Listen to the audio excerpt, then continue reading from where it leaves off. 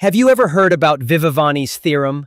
It's a very interesting geometric statement that says the sum of the shortest distances, labeled as UTS, from any interior point you chose to the sides of an equilateral triangle, equals the length of the triangle's altitude, or U plus T plus S equals H.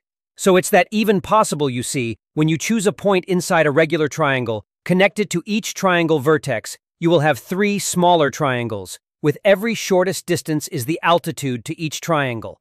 Mark all important connections with a name that you can see on the display, for instance.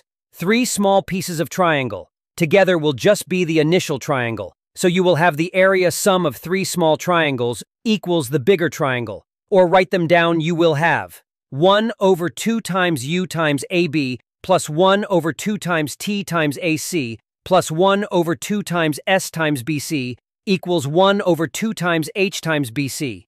But remember, you are working with a regular triangle, so AB equals AC equals BC, or equals to a k variable, which just leads you to U times k over 2, plus T times k over 2, plus S times k over 2, equals H times k over 2, and so on. You can easily figure out the final demonstration.